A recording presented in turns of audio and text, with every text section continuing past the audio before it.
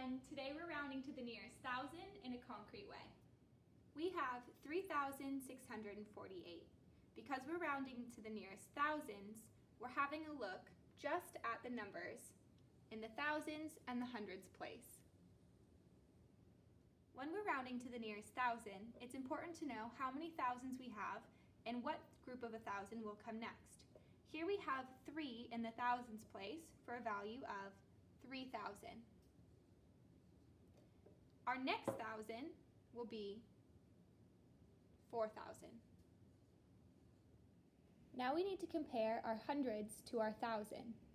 In order to compare, we can stack our hundreds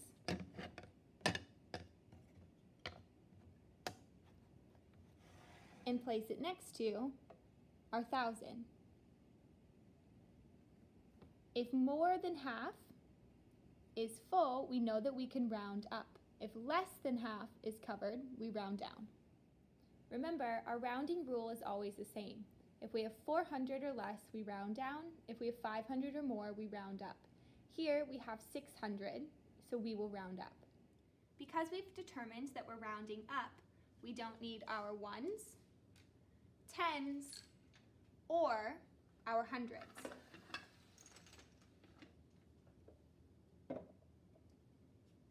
Three thousand six hundred forty-eight has rounded up to become 4,000. Let's have a look at an example where we may need to round down. Here we have 1,354.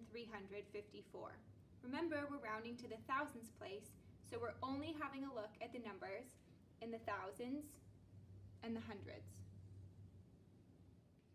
When we're rounding, it's always important to know how many groups of a thousand we have and what will come next. Now we have 1,000 in the thousands place, for a value of 1,000. Our next 1,000 will be 2,000. It's time to compare our hundreds to our thousand. Remember, we can stack our hundreds on top of each other to easily compare our hundreds to our thousand. Here, because we have less than 400, we know that we'll round down. Because we've determined that we will round down, we don't need any of our tens or ones, our additional thousand, or our hundreds.